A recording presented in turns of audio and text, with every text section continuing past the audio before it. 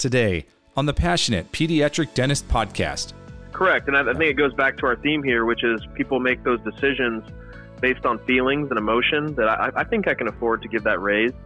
Um, and they have no mathematical or economic formula. There's no there's no logic behind it, and that's again human nature. We're just making those decisions emotionally, and we have to get out of our norm, out of our comfort zone, learn something new, study something we're not used to, learn the numbers, and then we can make wiser decisions.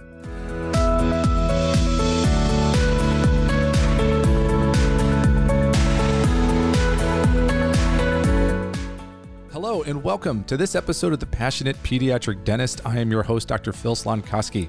Thank you for joining us. I just want to say, as we continue to um, sit through this COVID 19 pandemic, that I really continue to hope and, and pray that this ends soon for all of us. I know it's not easy on so many different levels, but I am I am really continue to be be touched and inspired by all the goodwill that I see out there amongst the pediatric dentists. You know, there's nothing like a crisis that can bring everyone together. And I'm hopeful and encouraged that when this is done, that maybe we'll have an even more deeper united front because, um, you know, the topic of today's podcast is going to be on good financial habits for managing practice cash flow. And all of us out there are going to have to watch the money in our practice tighter than ever before. You know, um, depending on how much of a cash reserve you had, will determine how things play out. Um, how the rest of the year goes is going to be determined on how we watch our money. And everyone has a practice at a different state of the game. And I think the topic that uh, we're going to talk about today, um, this was an interview I did with Chris Sands from Pro-FI 20/20. I've had him on before. And as I say in this podcast, I think he's my first recurring guest. And Chris and I are going to do a number of podcasts. There's another one that I'm releasing during this that's going to be on uh, debt and ways you can manage debt. A lot of us are going to have to take on debt to, to get through the rest of this year. Hopefully, we can have that debt paid off by the end of the year. Um, but no matter what, your practice's health is going to be based on how you manage your cash, how you minimize your debt, and for those of us right now, it's going to be really watching our expenses and our cash flow. And so I think this podcast will serve as just a good review for some healthy principles, some healthy habits that we can all think about because we're going to have lots of time to think right now. So that when we come back, when we're back in action here, hopefully in the next month or two, gosh, I hope it's in the next month, that we can start implementing these to make sure that we are able to watch every penny, know where it's going, so that way we can recover from this quicker.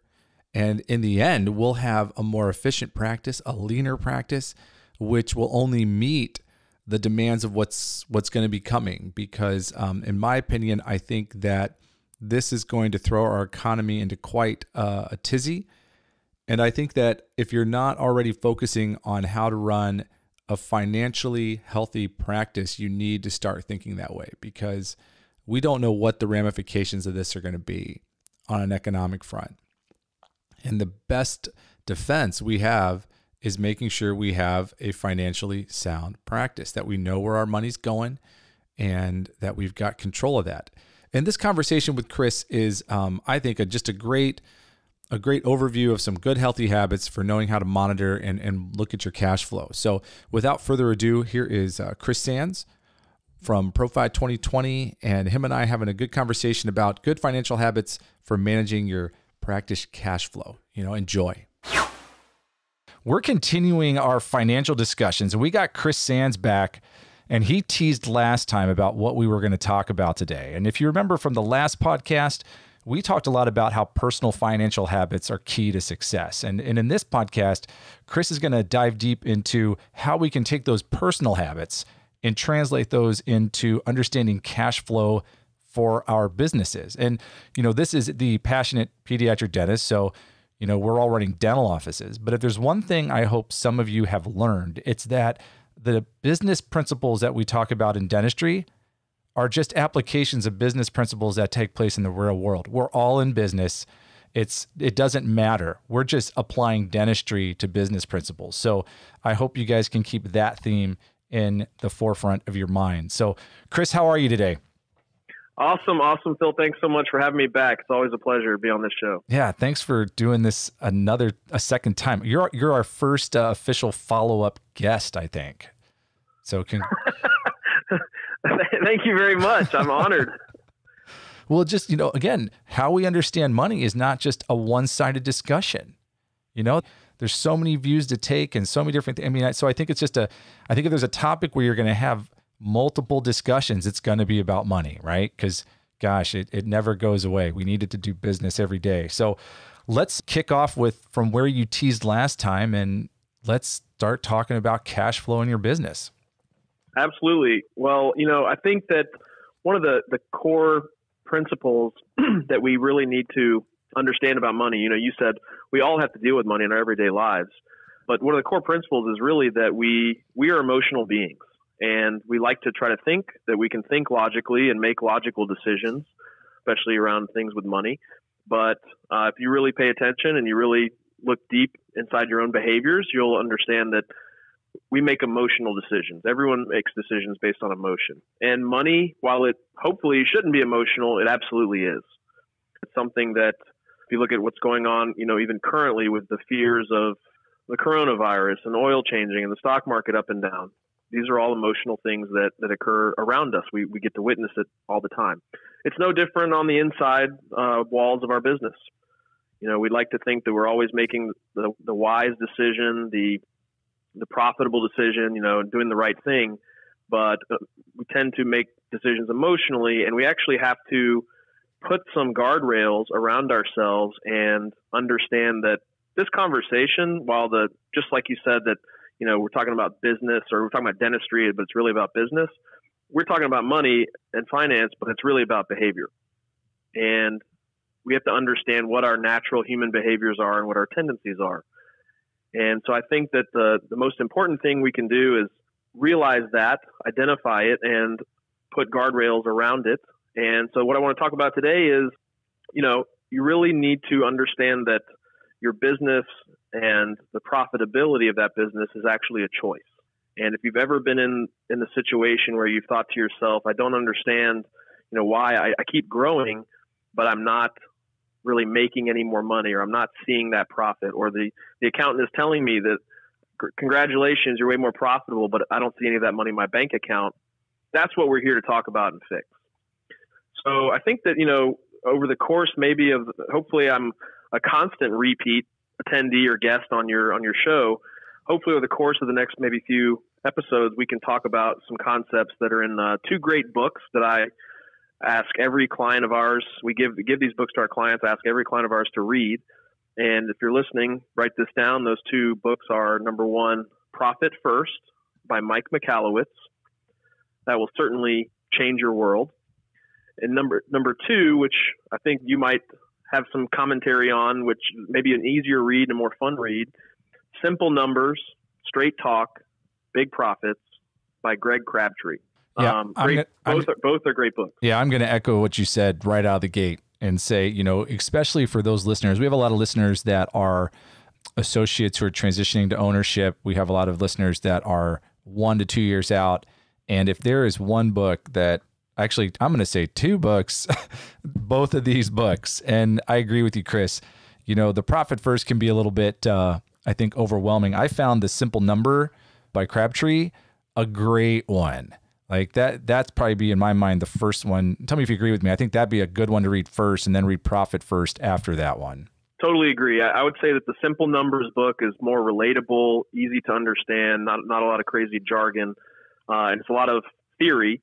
Profit First is more like mechanics, forced mechanics. They try to back it up with some of some some data and facts of human behavior. Um, but Profit First will talk more about how you actually implement the stuff in your life.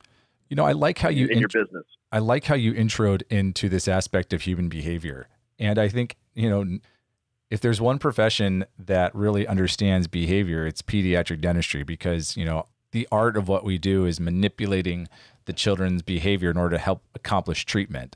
And so, you know, for me, that kind of analogy works because, you know, the way that we do move money around, it's it's deeply emotional and it's deeply tied to behavior and it's very hard to sometimes break those habits And, um, you know, I do a lot of stuff in the health space, and I've gone through a lot of really cool experiences lately where I have done over the last three months. What I'm essentially been doing to myself is changing ingrained behavior that goes back decades.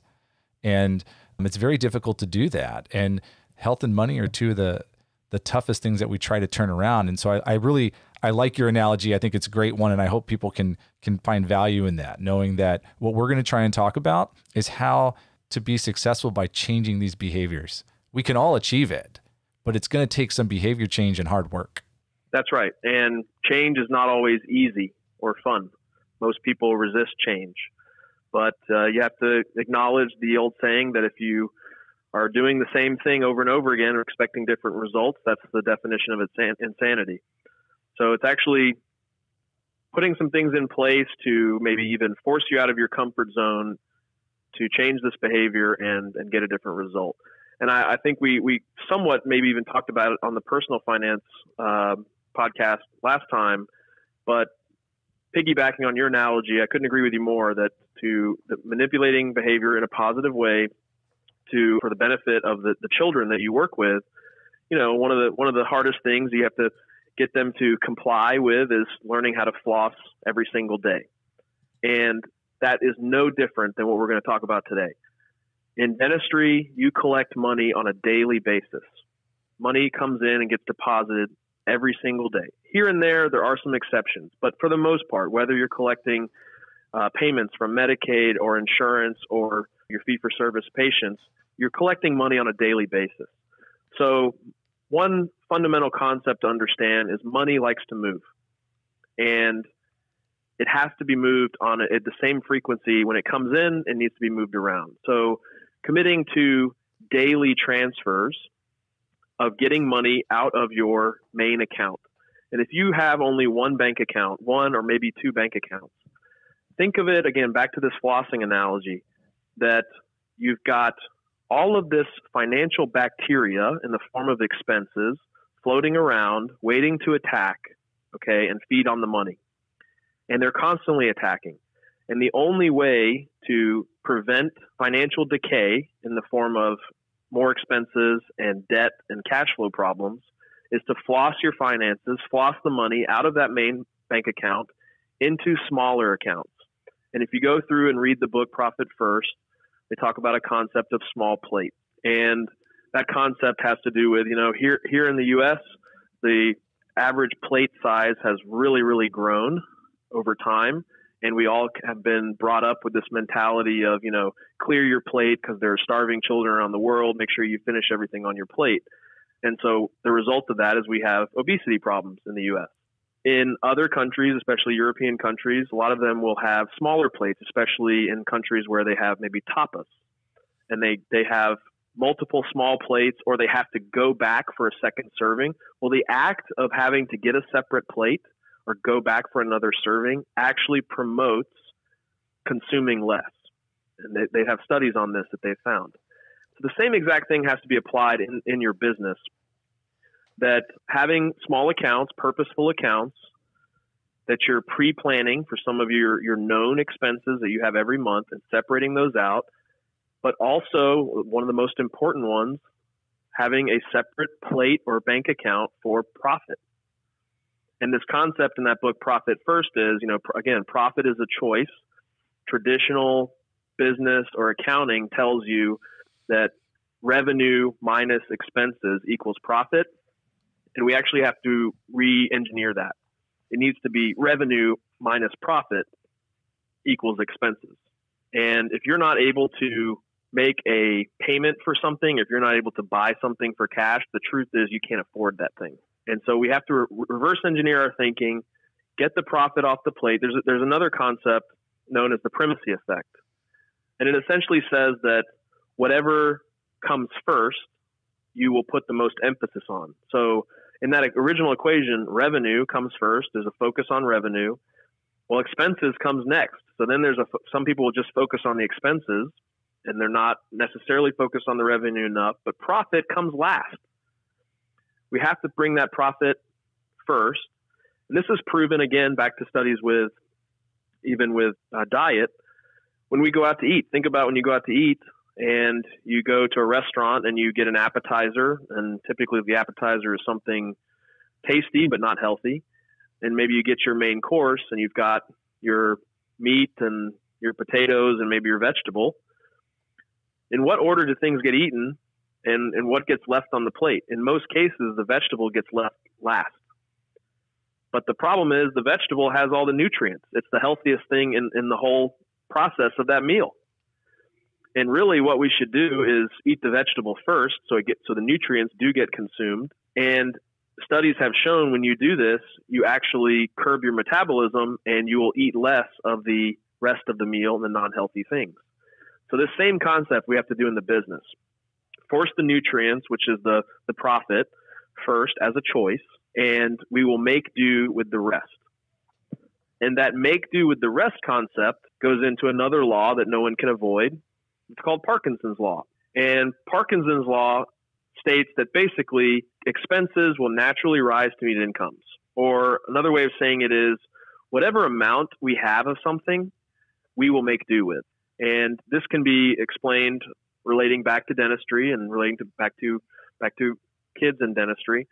You know, if you have a brand new tube of toothpaste, every single day we should be brushing our teeth. All of us do this. We go through this this exercise, and you've got your toothbrush, and you've got this brand new tube of toothpaste. It's totally full, and you go to put a big glob on the toothbrush, and oops, the glob fell into the sink. Well, now you don't want to pick up that nasty glob and use that off the sink. So you just get it. You got plenty more toothpaste in the tube. You just get more toothpaste and use it up. But it's pretty interesting when that tube of toothpaste gets close to empty and how we find all kinds of very interesting ways to make do.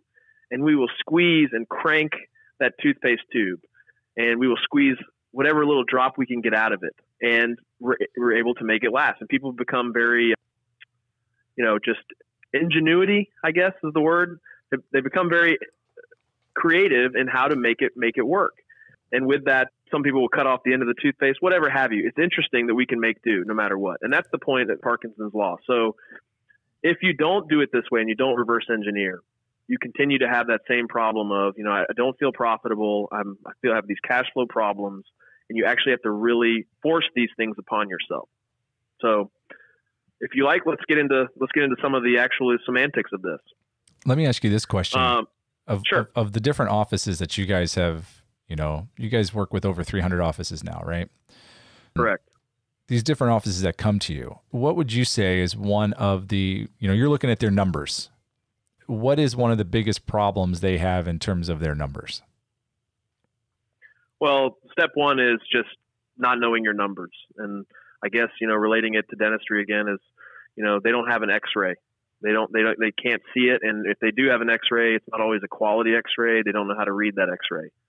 So when, I, when I'm using that term X-ray, I really mean you know your financial statements.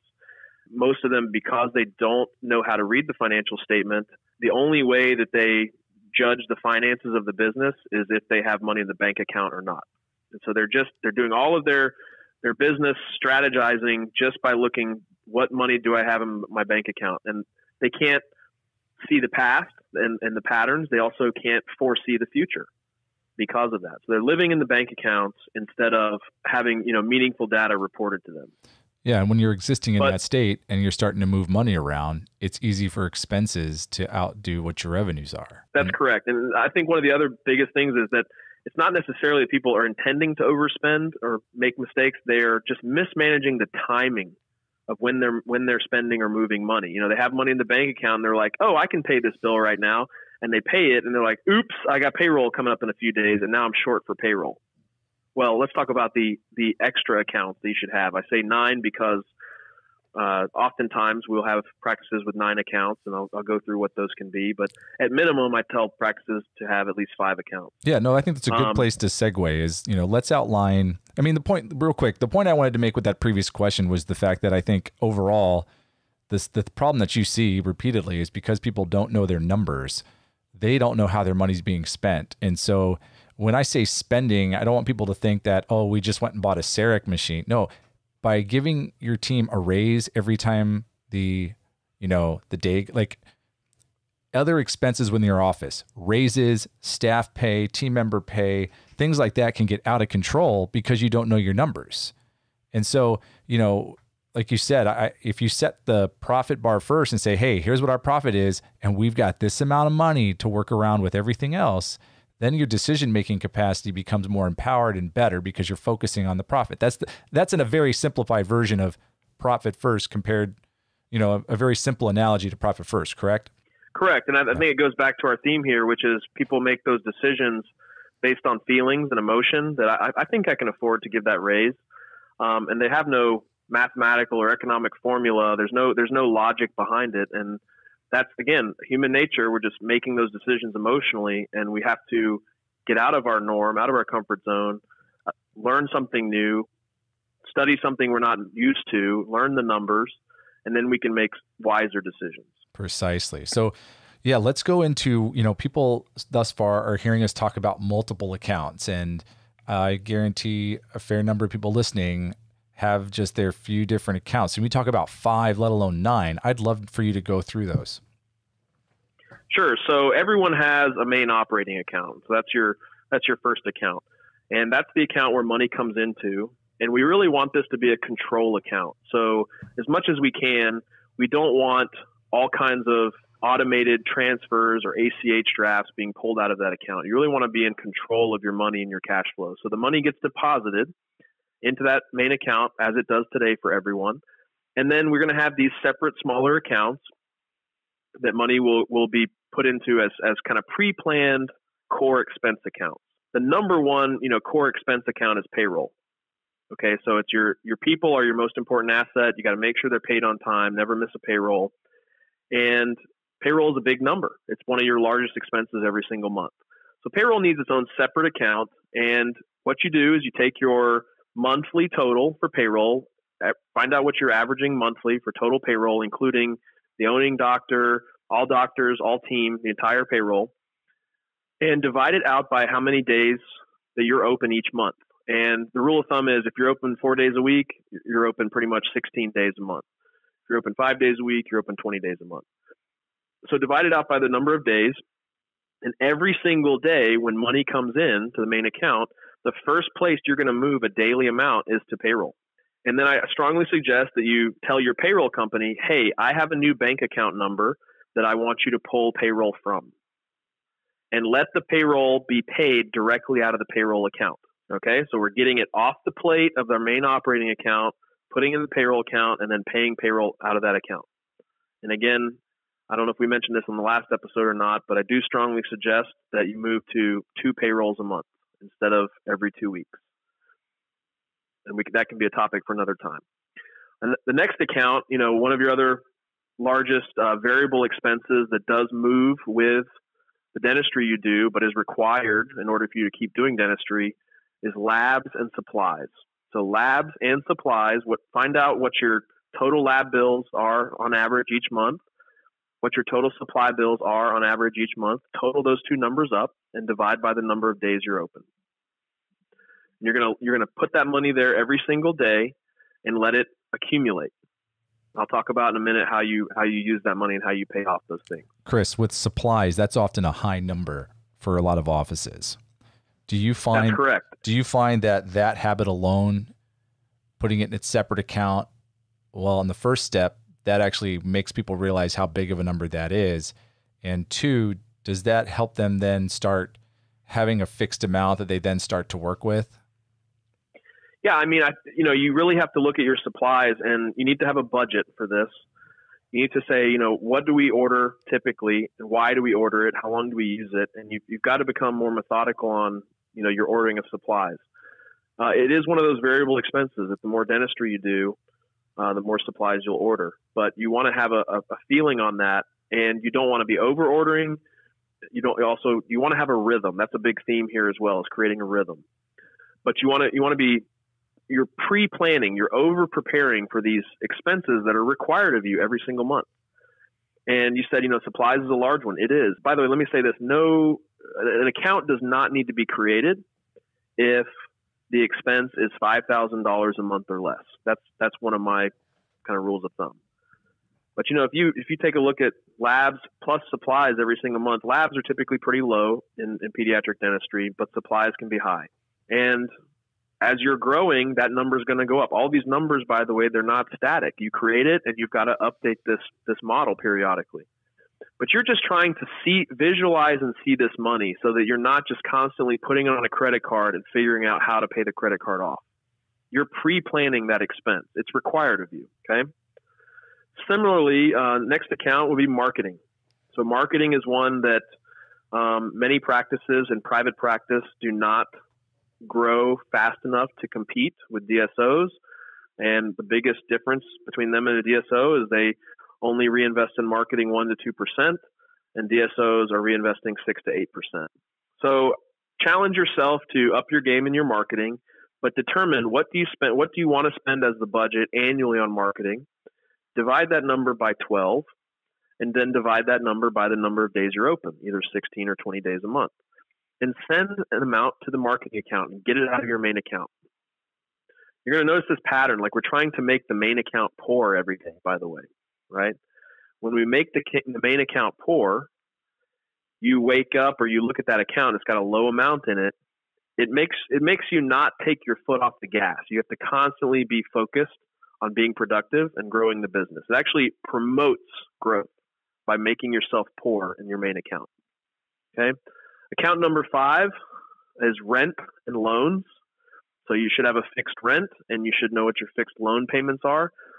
Total those amounts up, divide them by the number of days, and send that amount there.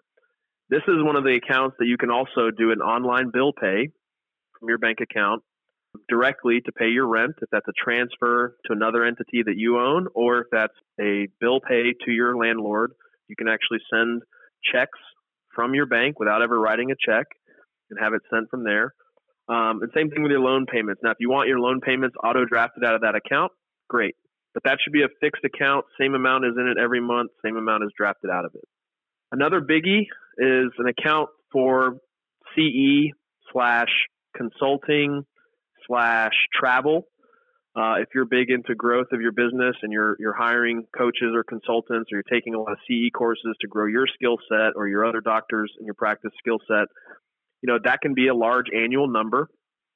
Look historically on what you've spent. Talk about what you want to spend and sign up for for this year or next year. Divide it by 12 months. Divide it by the number of days and put a daily amount in that account.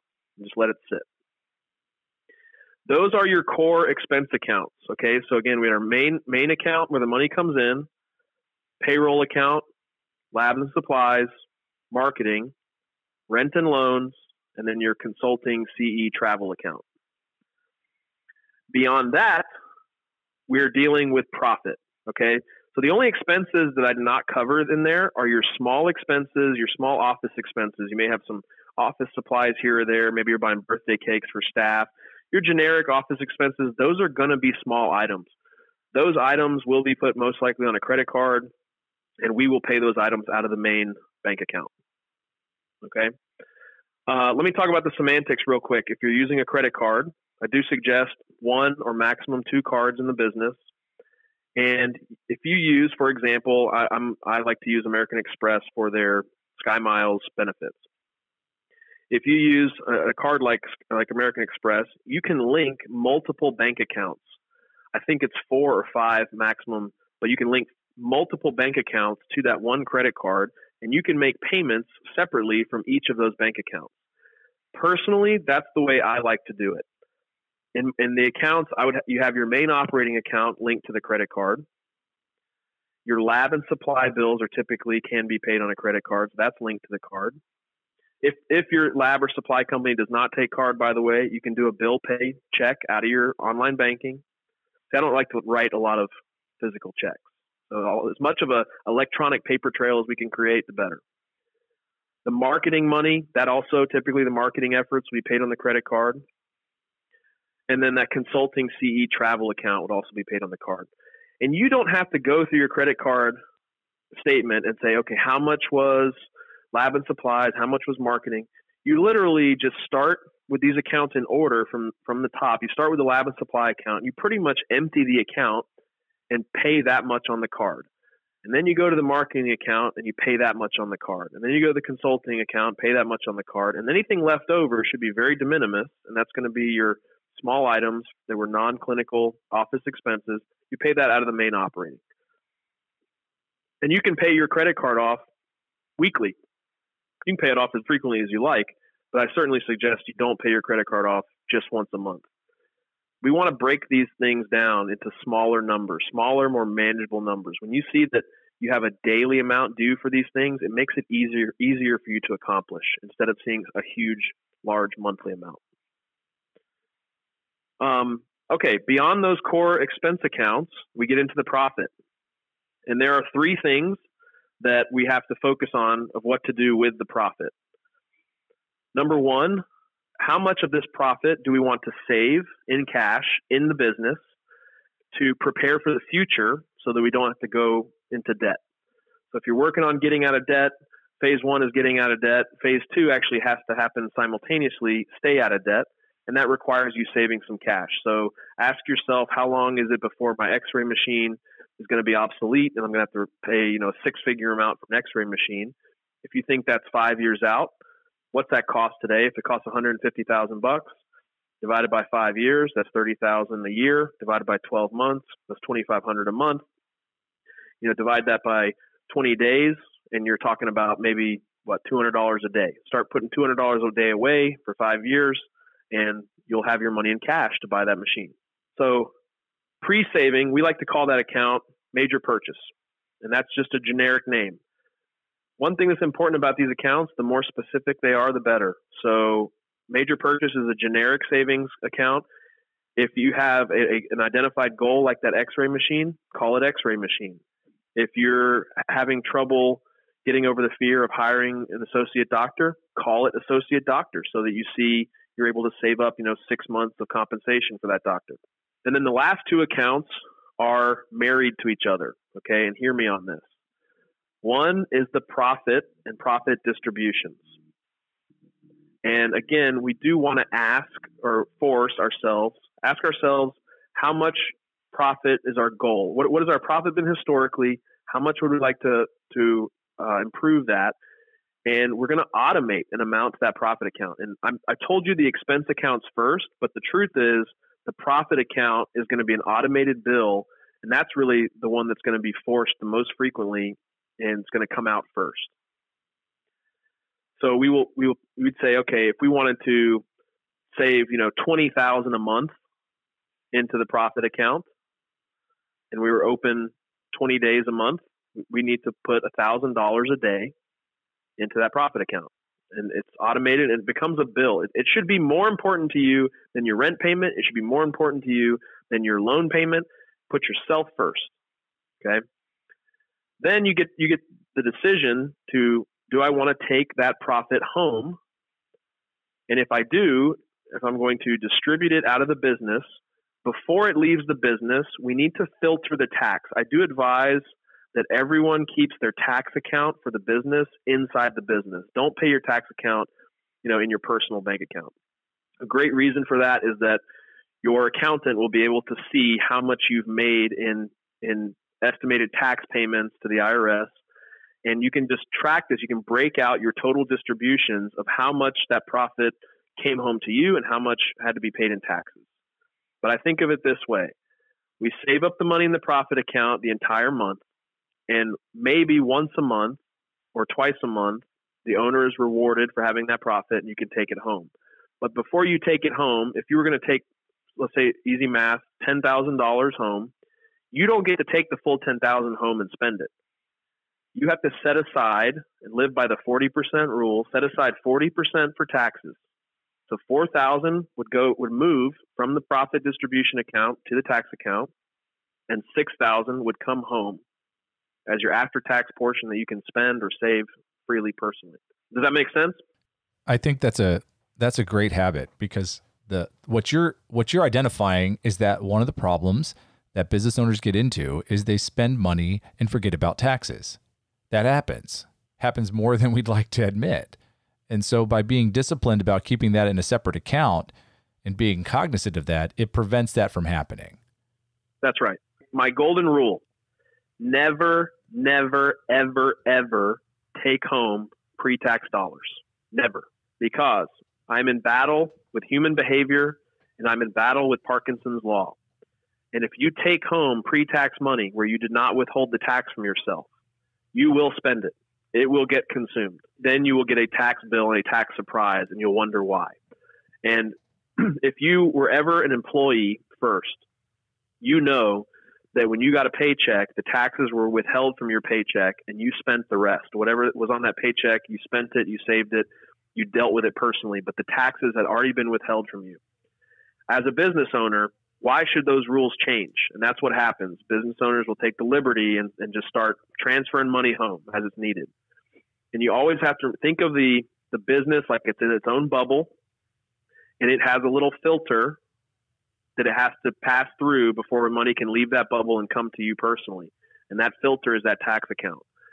And so if you're taking a, a W 2 paycheck home as, as an owner, that's already done for you using your payroll service. But if you're taking home distributions or draws, whether you're a Schedule C, an S corporation, or in a partnership, you have got to prevent yourself from spending the gross amount. You've got to think of, I need X amount of dollars at home or think of it two ways. Our first example, $10,000 I want to take out of the business. I need to filter out and set aside 40% taxes. I get to spend the 60% after tax. The other way of thinking about it is how much money do I need personally at home? You know, maybe I have to replace my gutters or something like that. Let's say I need $10,000 at home. Well, that $10,000 represents the after tax needed 60%. So I need to take do a little math. $10,000 divided by 0.6 equals $16,667. So $16,667 is the gross amount needed. I need to set aside $6,667 for taxes in order to take $10,000 home. If you will at least do this, you'll be so far ahead of the curve as far as avoiding tax surprises because you will be over preparing for taxes. And if you will in those first three quarters of the year, that tax account, it's accumulating. Okay. It's accumulating every month. And every three months, you know, every quarter you have to make estimated payments. I tell my clients, empty the tax account, beat the CPA. If the CPA says, hey, you need to send in a quarterly estimated tax payment of $30,000, but in your tax account you've accumulated 40,000, send in the 40. Over send in more the first two or three quarters and then in the in the fourth quarter, you would have had your tax planning and all of your tax deductions for that year would have been applied, and they would have done the math on what you've already sent in, and hopefully there's very little due in the fourth quarter or maybe none at all. And I still want you to set that money aside in that tax account, and then you get this surprise, this great advice. It's the best thing we ever get to deliver. It's like, hey, guess what? You don't owe any more taxes for this for this calendar year what you've set aside in your tax account, you can go ahead and take it home if you want. You can save it, you can spend it, you can leave it in the business if you like, but you're not going to have to pay use it for taxes. And that's some of the, the most relieving, best conversations we can ever have. Yeah, it doesn't a, happen that often. That's a job well done. Exactly, it doesn't, and that's where you know I guess. Look, that's what I want to highlight is let people recognize. Look, this happens all the time. And when we talk about having a better work life balance, when we talk about decreasing stress, decreasing the amount of decisions you have to make in a given day and given week, month in your life is going to decrease your stress. So um, that's right. Hands down. Can I say this, Phil? So sure. Also, some people listening to this will be thinking to themselves, "Oh my gosh, you know, nine accounts. That sounds more stressful. Like it's more to manage." I want to reiterate the way that you're operating now is giving you your current results, and this feels out of the norm. It's a, it's a little bit uncomfortable. It's non-conventional, and you may be putting up all kinds of objections in your head of, oh my gosh, like is my bank going to let me have those accounts? Well, with the right conversation, the bank will. These don't have to all be checking accounts. They can pretty much almost all of them be savings accounts, except for your main operating. And does this create an additional chaos in the monthly accounting and reconciling of accounts? it creates a little bit of extra legwork, but it's not chaos if you're if you know what you're doing. All of our people are trained this way. it is, it is again, we are modifying human behavior and making it easier to see the money on a more frequent basis. The more frequently you will floss, the more preventative you will be against decay. I've never had a cavity to date in my life. Part of that might be genetics, but I'm just one of those people that they said floss every day and you'll have less pain, less less cost. And I've done it from day one and it's given me that result. And so being preventative in your entire life, if you believe in that for your patients, you know, the people listening to this are patients of mine. They are business owners and they need to believe in that preventative care maintenance of their cash flow the same way. I love the level of passion you share with us. It's great. So you said there were nine accounts. I think we've gotten up to eight. As we kind of wrap up uh, this podcast, what's the ninth account? So I think I covered it, but let me let me repeat them again. So I like to think of them from the top down. I think of all the money flowing in as, as like water going through a filtration system, and we have to filter through the expenses to get to the profit. So let's start at the top again. Account number one, main operating. Everybody already has that. Account number two, payroll. Account number three, labs and supplies. Account number four, marketing. Account five, rent and loans. Account number six, consulting, CE, travel. Account number seven, major purchases savings account for future capital expenses. Account number eight, profit distributions. And account number nine, taxes. Oh, see, you were talking about taxes. I was going down my list and I, I, I got so distracted by your passionate appeal towards taxes that I did not write nine taxes down on my sheet here. So there you have it. The nine accounts. Those make total sense to me. And I, you know, you and I have had many conversations, and I, I think that every time I hear you speak this, it continues to resonate with me. And I, I hope it resonates with our listeners because this to me seems beyond common sense and helps you see, you know, when you're looking at your accounts and you maybe have three or even just one, it's a huge number. And you can look at that huge six figure number and be like, oh, I'm fine. We're good. Until you realize that you have a $30,000 or $50,000 payroll if you've got a huge team. You've got lab supplies about 10, 15,000, marketing. I mean, all of a sudden that money dries up, not to mention your doctor pay. And so I really love how you break that down, Chris. I really do. I just want to tell you, I think that's a, a great way to look at it. I love it. Yeah, thank you so much. Make sure you know that, like you said, that that main operating account with a lot of money in it, that can be a false sense of security, and you just don't see, you know, expenses coming coming next.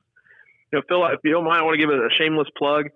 You know, we are going through this month. Our, you know, our name is Pro-FI 20/20, and I thought it was fitting that in the year 2020, Pro also kind of being short for profit, Fi being short for first, we are getting Profit First certified in 2020 to be a Profit First professional certified organization as a dental CPA firm. And if you have any other questions with this, we live it in our business, and it's the only way that we're able to coach it to our clients. Please feel free to reach out to our company. You can reach us online, profi2020.com and check us out on uh, social media at Pro-FI 20/20. So, with that being said, man, and you can plug anything you want because I love everything you're doing. I think the message you guys are spreading needs to happen because the only way that these dental offices, these dental teams are going to be able to meet the demands of a changing business culture. And I, I look at DSOs as a moving force of business culture, separate from its own sort of influence in dentistry. It's all about business you know, if you want to beat it, you got to know your numbers know how to run a smart business. But that doesn't matter if you're doing dentistry. You can be in another business and the same rules apply. So if you want to be successful at a business and you're a dentist, you should stick with dentistry, which is what you're good at. So learn how to run that business. Because if you can't run your dental office, you won't probably be successful running another business. Maybe not. If that's not your passion, you know, you, you got to stick with what you're passionate about. But knowing your numbers, no matter what you're doing, is key. So you know, last time I'd let you tease what the next podcast is. So in that tradition, I want you to uh, tease what our next conversation is going to be about. You know, I, I think where we need to go next is what we've just kind of started on and built in the foundation is we've been talking about cash flow planning. First, we talked about it on the personal side because you got to get that right first in order to fix the business. Today, we covered a lot of the semantics of business cash flow planning one of the next things we need to talk about is debt and how do we have a plan around debt in the business? How do we use this cash flow plan right here to pay extra down on our debt and eradicate it from our business? And understanding that debt is actually also creating the byproduct of phantom tax in your business. That means tax that you owe each year that you're not taking home. And that's one of the reasons that people have the feeling they have that conversation with the accountant to say, you know, say, hey, great job, you were this profitable. And you're like, why did I not have that money in my bank account or take that money home? Where did it all go? And debt is a big byproduct of that. Chris, I, so I think we should dive into that next. I couldn't have scripted that better myself. One of the questions that uh, came up in our boot camp and, and it was great having you at our last boot camp. I forgot to mention at the beginning, you know, think that was awesome getting a chance to do a little session with you. But one of the questions that came up was this idea of what's phantom tax. I'd never heard of that before. And uh, I remember saying, look, go back, ask your accountant what phantom tax is so you know what that is because that's and, really and coming, important.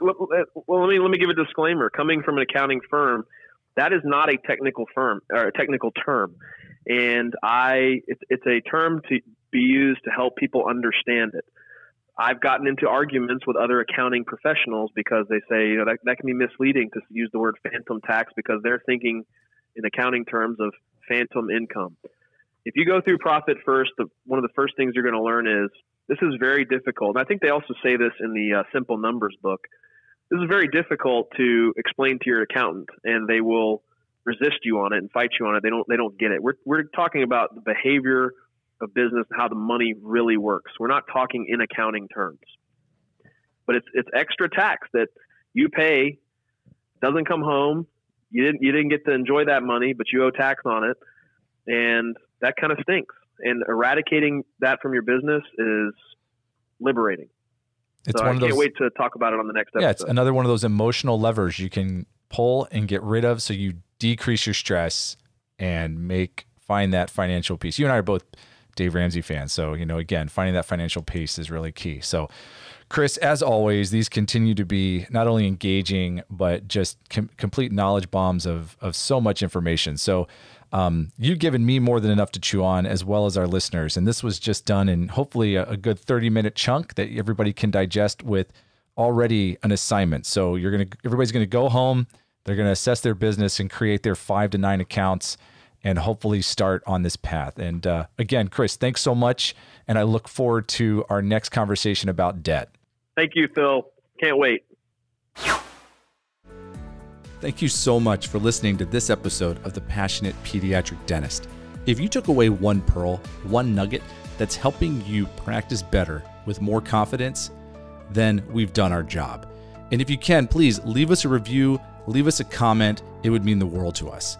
Now, this podcast was brought to you by Pediatric Dental Directions. And if you want to join a group of like minded pediatric dentists who share the same mission and vision as you, as what we try to embody in this podcast, then please check us out at www.pddx.us. We have a lot of information. We run a few courses, and we would love for you to check us out and be a part of that if you feel that we can be of help, be of value in your journey in pediatric dentistry. And as always, shoot us an email, ask us questions, and we would be happy to answer them either directly or maybe it's going to be a topic we can put for a podcast. But either way, please reach out to us. We'd love to hear from you. And remember, anything worth doing is worth doing well and to the best of your ability. And we are here to support one another. That is the goal of the Passionate Pediatric Dentist. And again, we thank you for joining us. Until next time, take care